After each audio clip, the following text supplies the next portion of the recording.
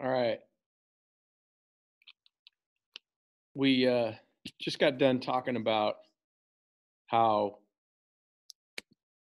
uh, there were a lot of people that were that were against separation. In fact, there were more people that were against separating than there were for it. Again, I, I keep me- mentioning this, but it's it's really important is that it's a minority movement. So here, here's some statistics and looking at how many people were loyalists. If you were a loyalist, also known as the Tory, you were loyal to the British Crown. About 20% of Americans were loyalists. Uh, they remained loyal to the king. They were the outspoken group. That doesn't count how many were quietly loyalist. Where you found the loyalists the most were in the South. Anywhere where you had the Anglican Church, which is the South. Uh, we know how close the ties were between the South and the mother country from way back Jamestown.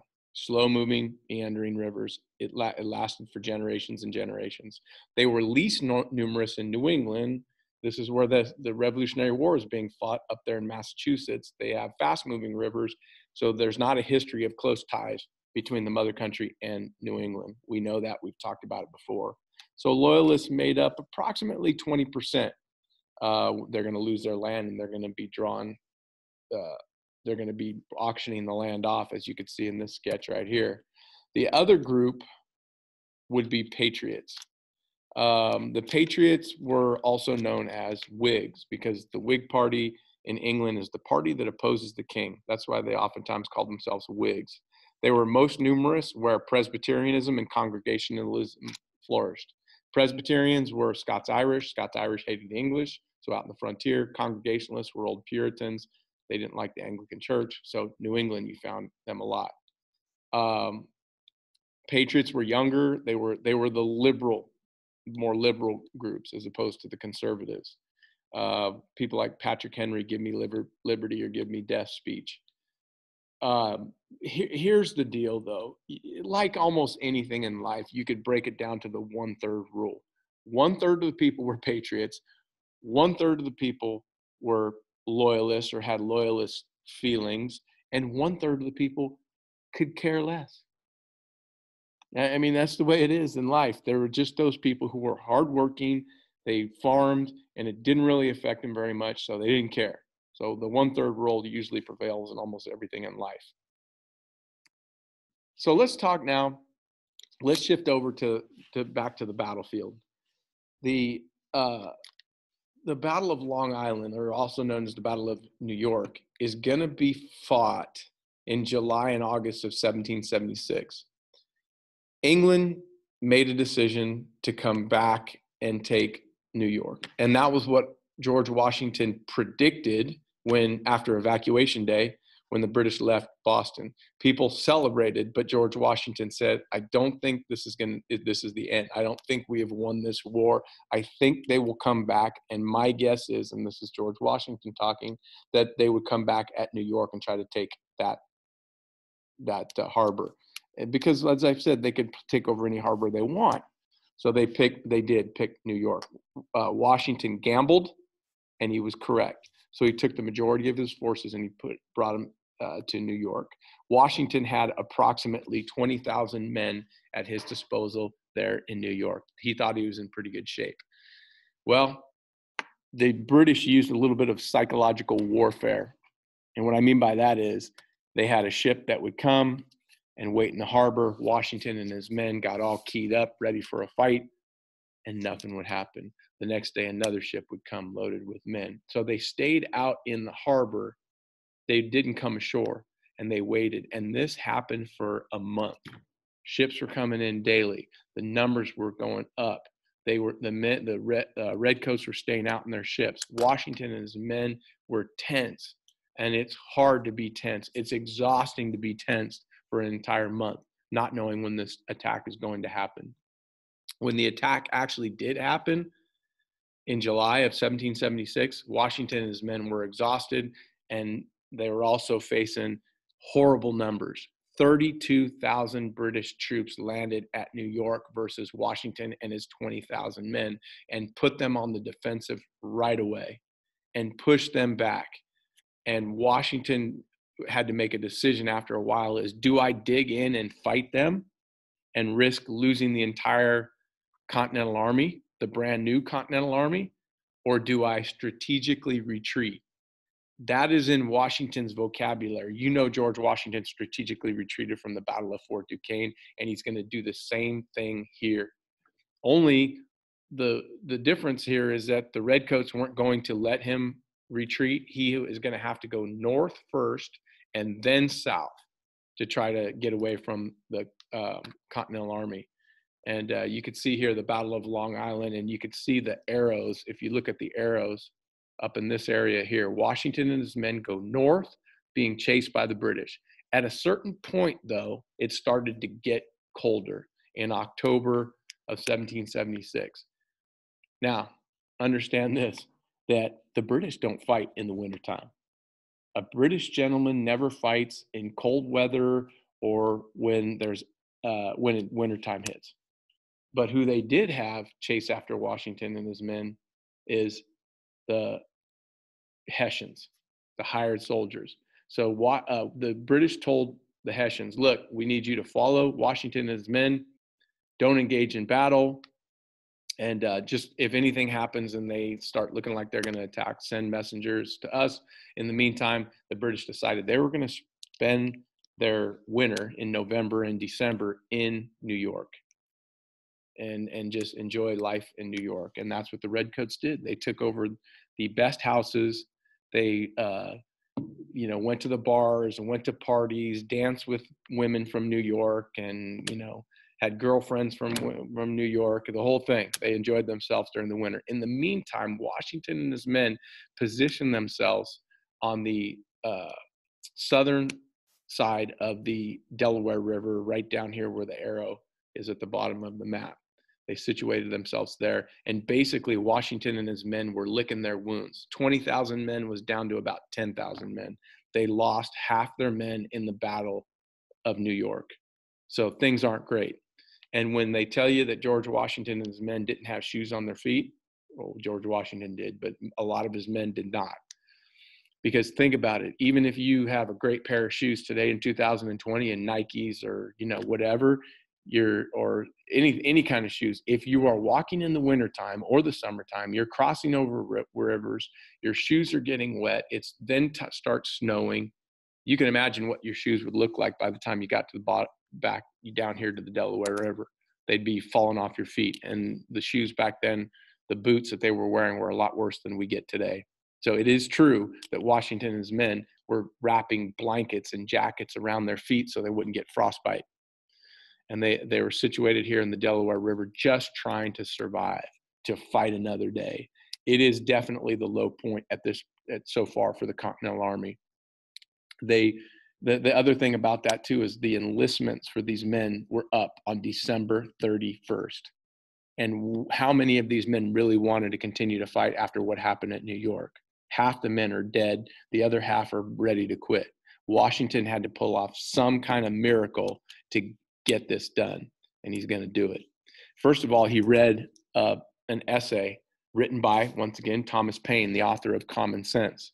He sent Thomas Paine wrote an inspirational piece and he sent it to George Washington to read to the men. George Washington did. So it was a motivational speech, it was a motivational essay that he read. Here's part of it. It says, These are the times that try men's souls. The summer soldier and the sunshine patriot will, in this crisis shrink from the service of their country. But he that stands it now deserves the love and thanks of man and woman. Tyranny, like hell, is not easily conquered. Yet we have this consolation with us that the harder the conflict, the more glorious the triumph. What we obtain too cheap, we esteem too lightly. It is dearness only that gives everything its value. Those inspirational words, basically, what he's saying here in these inspirational words is hey, be tough. The, the, the men that are fighting are tough and not the summer sol- sunshine patriot, the summer soldier, those that only fight in good weather. Hey, if you stick with this, everybody will appreciate you. And I'm not saying that this was the reason why people are going to reenlist. They need more than inspirational words. They need actions. They need victory. A victory would go a long way in uh, getting people to sign up again. I'll talk about the two phases. The two phases, basically, you know, wh- where the war was fought. This is a, um, I really like this map right here that shows you all the different areas uh, where the fighting has occurred. And uh, you know, obviously, we're talking talking about New York, and this uh, red arrow right here is Washington, his retreat, and the Delaware River's right here, and this is where Washington was. Washington had to pull off a miracle, and he did.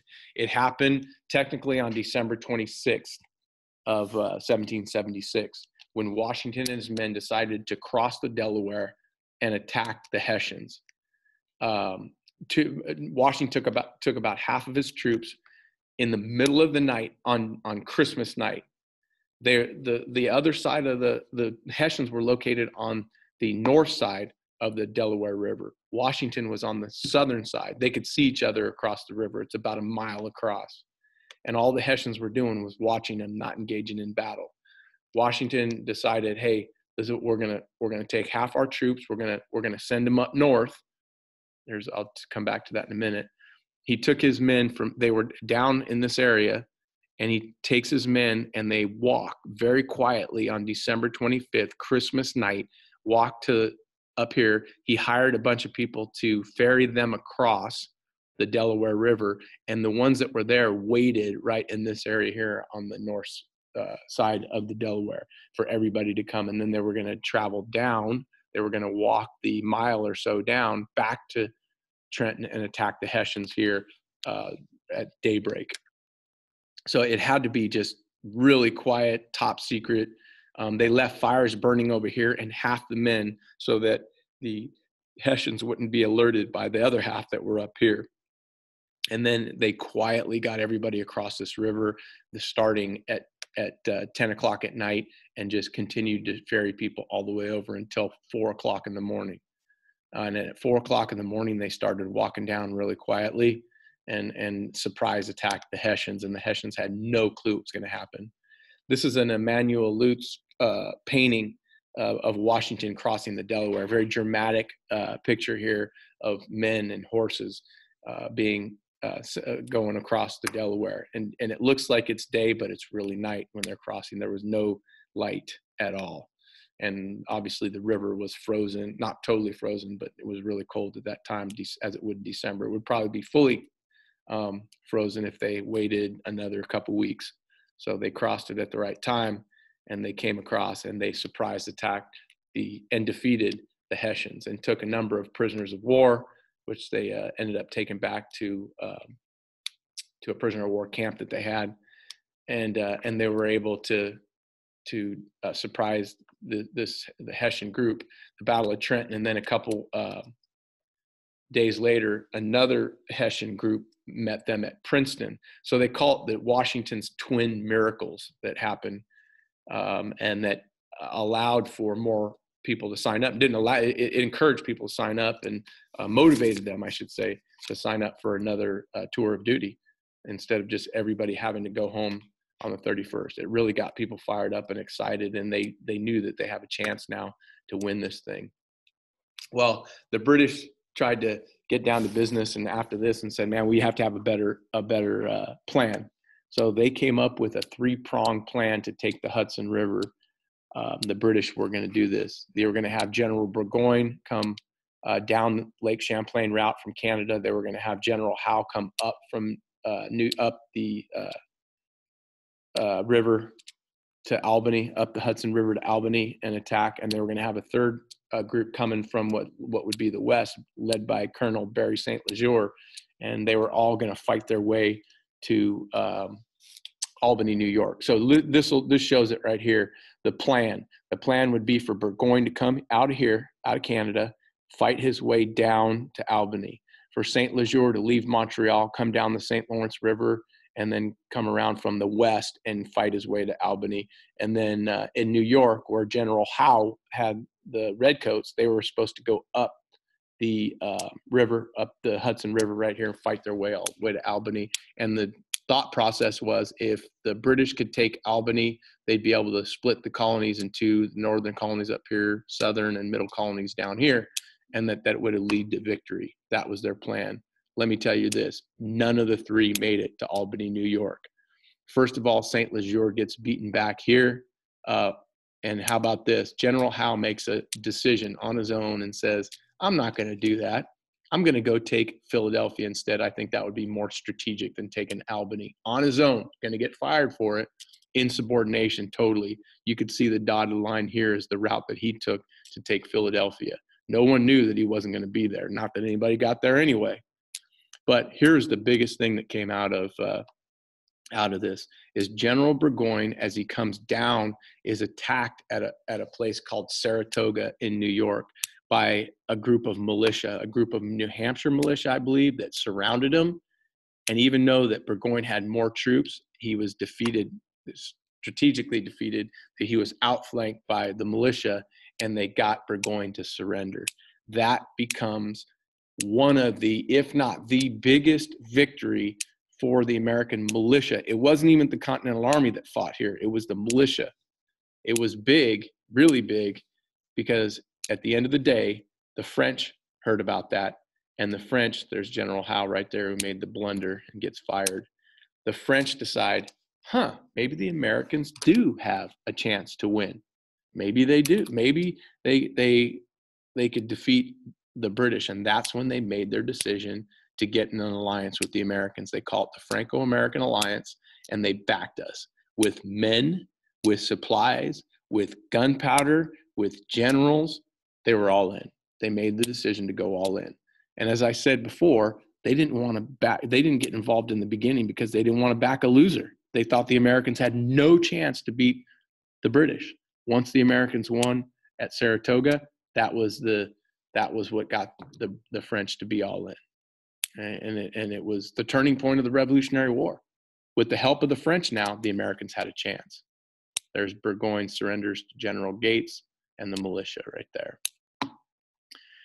Just because things got better, just because it was a turning point, doesn't mean that this war was going to be over. They still had a, a ways to go and Washington and his men went into winter quarters in the winter of 1777, the very next year after the crossing of the Delaware and all that.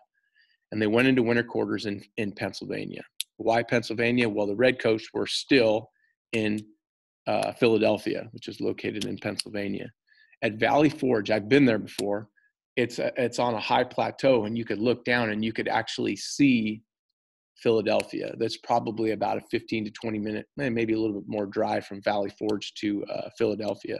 You could sit up top there, look down, and see Philadelphia. You could really see it now because you could see the skyscrapers and high rises there.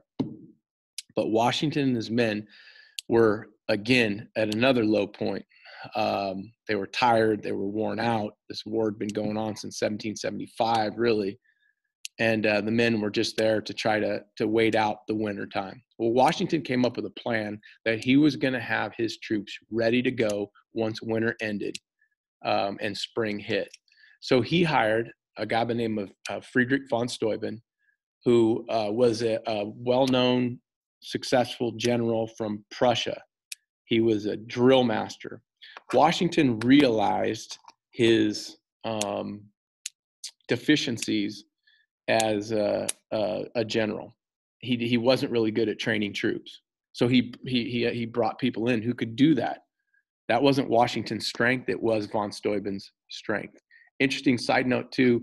Um, he was uh, General von Steuben was gay, and he was not. I don't think he was. Uh, he was out of the closet gay, but but later on, historians know that that he was. So played a huge role um, in in our history um, so yeah, uh, successful contribution by him training the troops at Valley Forge. By the time the troops were ready to go after the winter ended, because of von Steuben's efforts, um, they were more of a fighting force. And coming out of winter quarters, um, we'll talk about. I'll talk a little bit later about General Benedict Arnold and, what happened with him. But uh, the theater of operation switched from the um, from the north and middle colony, more middle colonies to the south, because the British said, okay, we're we're gonna we're gonna go take Charleston, South Carolina, and we're gonna start fighting in the south because we don't have to worry about militia down there because we have a lot of loyalist friends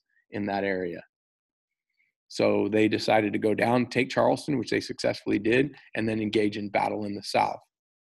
what they didn't expect was the fact that in the South, there were militia there. Uh, the Swamp Fox, Francis Marion in South Carolina, um, and a host of others that uh, fought bravely. And it was they were fighting to a draw down in the South in, in the, the last part of this war. But a, a draw favored the Americans more uh, than it did the uh, British. Now, the Battle of Yorktown is the last battle that fought. I know I'm jumping, I'm going pretty quickly through this, and I'll, I'll, you know, crystallize it a little bit more in class. But Yorktown was a, a, a town on the coast.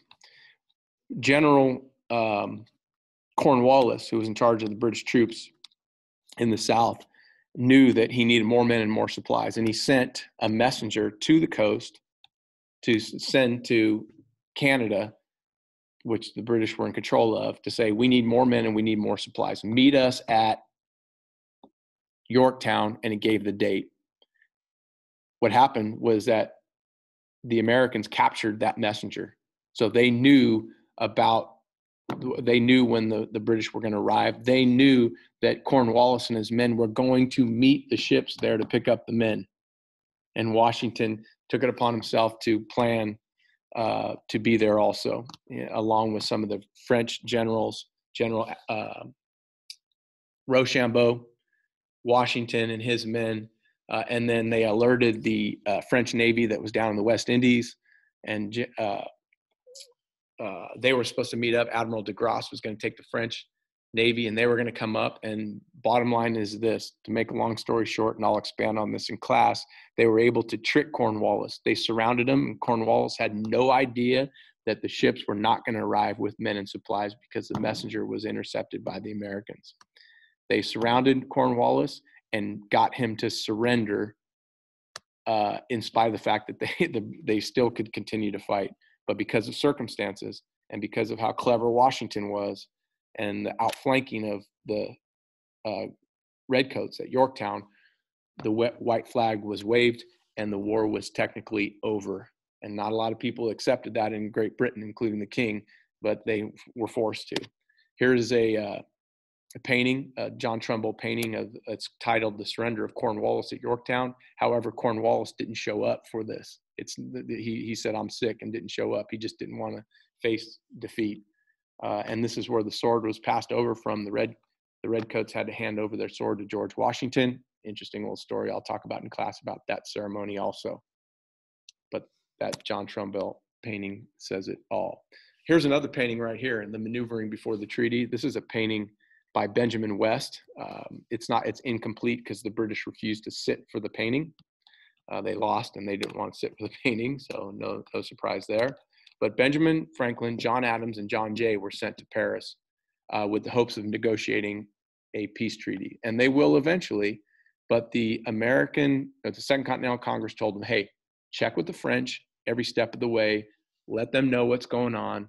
In which these three men said, "Screw that. We're not going to talk about the French. We're going to negotiate this on our own." They didn't want the French to be involved in it, and they ha- they hammered out a peace treaty known as the P- Treaty of Paris of 1783, and this was now the United States. Great Britain had acknowledged the United States as free and independent. The the um, boundaries were north to Canada, west of the Mississippi River, south to Florida. The uh, Florida was giving given back to Spain uh, for claim to land over over uh, near uh, New Orleans. I'll expand on that in class also. Uh, and then the United States was allowed to retain fishing rights off Newfoundland. Congress promised to, here's an important statement, recommend that loyalist property be returned to them. Um, to recommend that only. Uh, but that never happened. Uh, and then the other thing was the Mississippi River was supposed to remain open to both the United States and Great Britain, which that's going to cause a problem as well. But here you go. Here is the United States after the Treaty of Paris of 1783 and after the victory in the Revolutionary War. Uh, women in the war, a lot. We'll, we'll talk a lot about you know women's women's issues when it came to the war, but uh, women ran farms, businesses, and families during the war. Uh, some women uh, supported the troops. They would oftentimes they would dress up as men and go and uh, and fight. Um, also, uh, Molly Pitcher is is someone who would bring pitchers of water and actually help load cannons um, during the war. Abigail Adams wrote to to uh, John Adams and gave him information about the home front and women's contributions to that. So women played a big role, and women are going to play a big role after the revolution as well, and we'll start getting into that in the next chapter. Loyalist, like William Franklin here, who was Benjamin Franklin's son. Benjamin Franklin and William Franklin uh, n- never saw eye to eye. He was Benjamin Franklin was a patriot. William Franklin, being the governor of New Jersey, was a, a loyalist, and they they uh, parted ways and never spoke to each other again the rest of their lives. So a pretty sad story. Again, remind me, and I'll expand on that in class. Uh, but 60,000 of the loyalists left and joined the British Army. Um, they went to Canada. They went to England. They had their property taken from them. And think about this for a minute. When it comes economically, phew, I mean, they that's a lot of you know plantation owners, huge plantations. A lot of the plantation owners were loyalists, so they lost all their property. That's going to have a big effect on, on uh, life post post war. So yeah, interesting interesting chapter there. And again, I've got a couple things to expand on in class. Remind me about the uh, Benedict Arnold situation as well.